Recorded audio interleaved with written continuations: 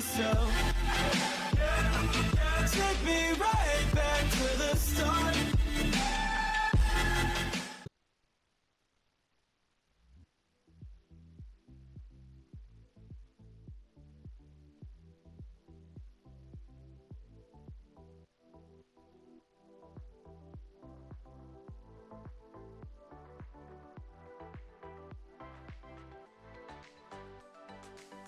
Et bien salut tout le monde les gens, c'est Colin, j'espère que vous allez bien, que vous pétez la forme, en tout cas ça va super les amis, aujourd'hui on se retrouve sur notre série tuto déco et nous sommes aujourd'hui à l'épisode 39 Et donc aujourd'hui j'ai reçu un commentaire de iBlueFox qui nous propose en tuto déco de faire un logo d'un réseau. Et donc forcément pour moi c'était très logique de choisir le logo YouTube. Donc j'ai décidé de le représenter sous cette forme, il y avait plusieurs possibilités de, bah, de le faire. Moi j'ai décidé de le représenter comme ça, voilà. Un logo YouTube euh, en 3D, en bloc, hein, je dirais en, carrément en rocher, posé sur euh, un bloc de roche qui est pas mal chargé en verdure et aussi en euh, déchets. Alors moi les déchets j'aime bien les représenter par des différents bouts de bois. Voilà donc du coup je l'ai représenté comme ça et aussi les conduits qui permettent un éclairage de nuit. Je vais vous montrer ça tout de suite. On a un éclairage de nuit.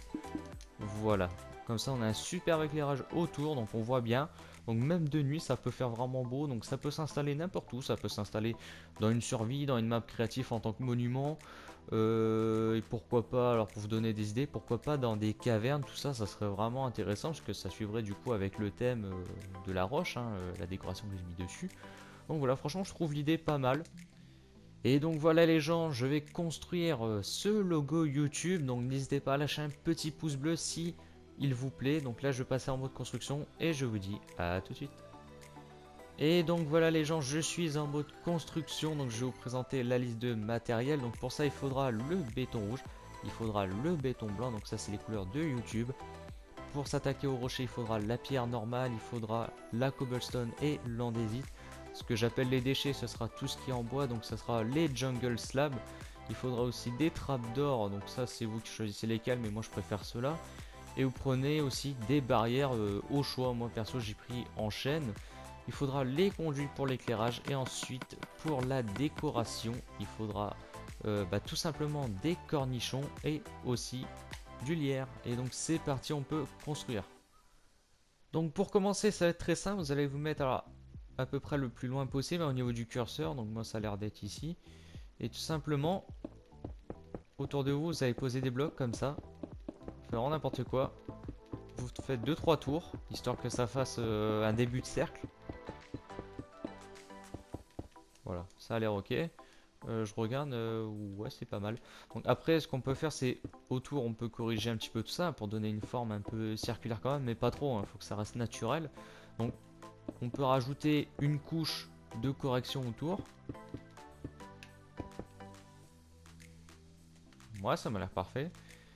Et après, ce que vous pouvez faire, c'est que vous pouvez laisser des creux comme ça exprès, donc en rajoutant des blocs. Vous voyez, je laisse des creux comme ça. Ça rend plus réaliste, ça fait beaucoup plus beau, je trouve.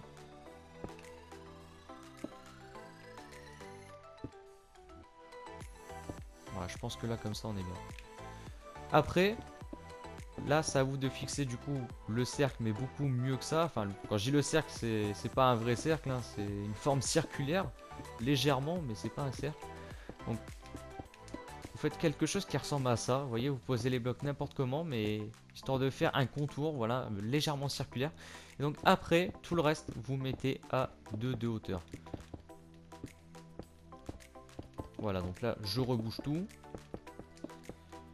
Et là, en fait, à partir d'ici, c'est là qu'on va donner plus de hauteur. Donc du coup, on va faire, comme je dirais, un début de falaise. C'est-à-dire vraiment, on va monter les blocs sur 2, voire de hauteur, comme ça.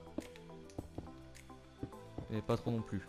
Vous pouvez le mettre comme ça, mais moi perso, j'ai pas trop fait ça. Peut-être sur deux blocs je l'ai fait, mais non, je l'ai pas trop fait au final.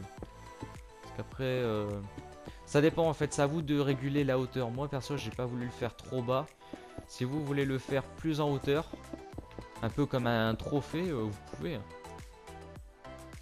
Donc je pense que là, on a l'air d'être bien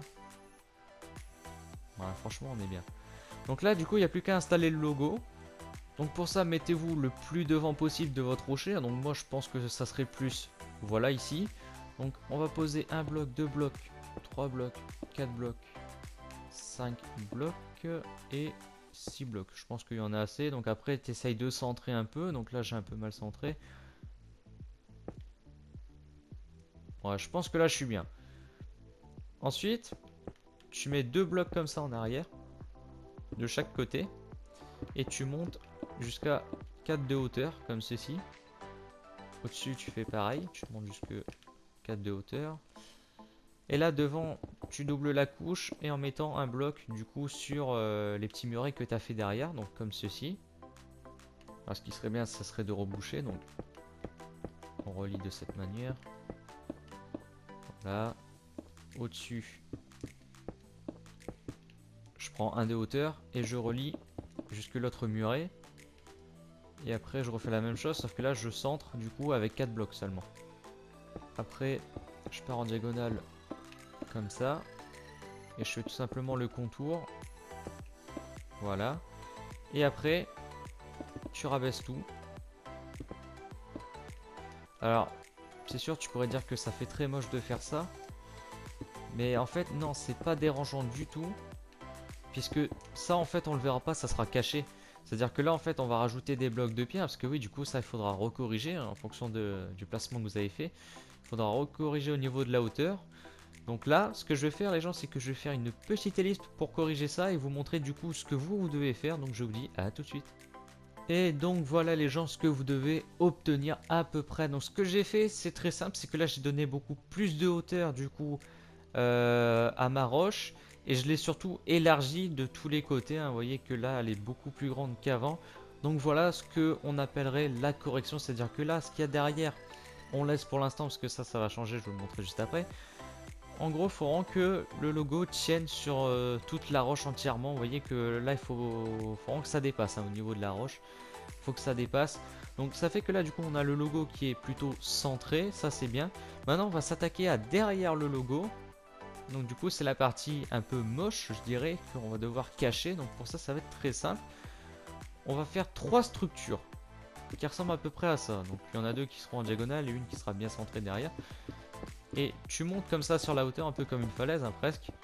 Mais on n'en est pas loin. De cette manière. Tu fais pareil ici. Ça, on peut cacher. Euh, là, c'est ok. Puis, on va en mettre une juste là. Voilà. Donc ça, une fois que c'est fait, c'est ok. Normalement, tu dois avoir quelque chose qui ressemble à peu près à ça. Donc tu vois que ça fait largement moins moche.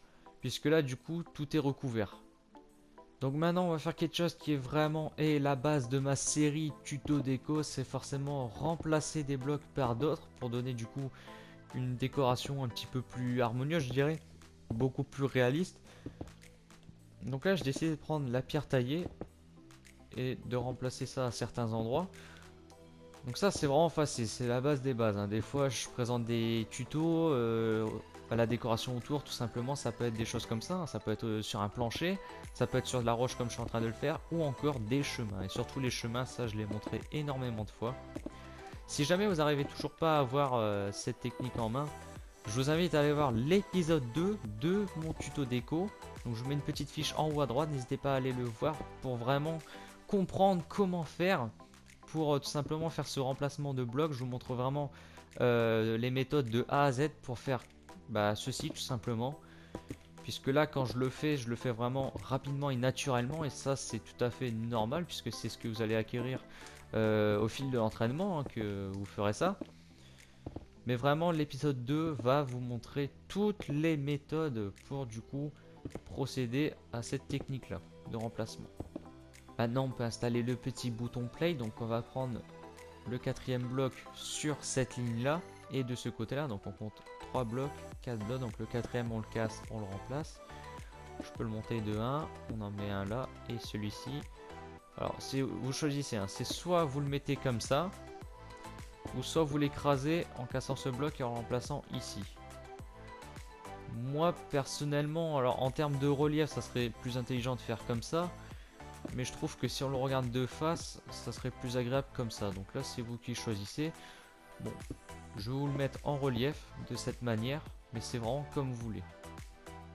Alors là, je vais vous montrer une petite option supplémentaire qui n'est pas obligatoire pour du coup décorer votre rocher. Donc on va lui donner beaucoup plus de réalisme, mais vraiment plus de précision en faisant ça, tout simplement en mettant du coup des escaliers en pierre normale, mais juste des pierres normales, hein, pas, pas en cobblestone ou en andésite, etc. Non, vraiment des normales.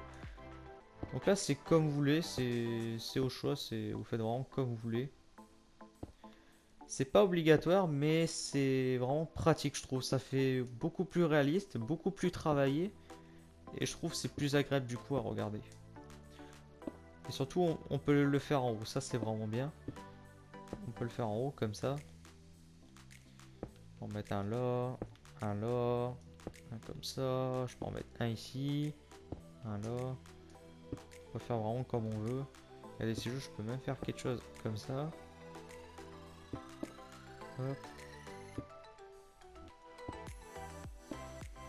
Et une fois que c'est terminé, il n'y a plus qu'à faire l'étape de décoration. Donc du coup, on va prendre tout ce qui reste. Donc là, je commence à travailler euh, tout ce qui est le bois, donc euh, ce que j'appellerais les déchets du coup, de manière imagée dans, cette construction. Donc on met les jungle slabs un peu partout, hein, c'est au choix. Vous en mettez vraiment un peu partout, mais attention, hein, le dosage, n'en mettez pas trop, sinon ça va faire vraiment moche. Mettez-en, mais un petit peu hein, quand même. Faut, faut en mettre avec parcimonie, comme on dit. Après, je peux faire pareil avec les trapdoors, mais ce qui est bien, c'est que les trapdoors, voilà, je peux les coller comme ça aussi. C'est pour ça que je les ai pris aussi, que j'ai choisi de d'utiliser des trapdoors dans, dans la décoration, du coup. Bon, là, il est trop près. Parce que je peux autant les allonger que les mettre comme ça, collés à un mur. Chose que je peux pas faire avec euh, les slams, forcément. Et du coup, ça te donne la liberté de remplir un peu tout le bloc quand même. Tout le bloc de roche. Je vais en mettre un au-dessus. Là. Hop. Hop. Parfait. Bien ici. Et après, je peux faire pareil avec du coup le, les barrières. Donc les barrières, je l'ai précisé, vous mettez la couleur que vous voulez. Moi perso, je préfère en chaîne. Mais la couleur reste au choix. Je ne vais pas imposer les couleurs, c'est en fonction de vos goûts. Mais quand même, mettez euh, du bois sombre si vous êtes dans un lieu où c'est très clair. Pour que du coup ça, reflète euh, le rocher. Ou en contraire, si vous êtes dans un endroit très sombre, et que vous l'installez dans une caverne ou autre, pensez plutôt à mettre euh, des bois très clairs, hein, comme le boulot par exemple. Je vais mettre un là, puis un là. Donc là, je pense qu'on est bien. On va mettre le lierre.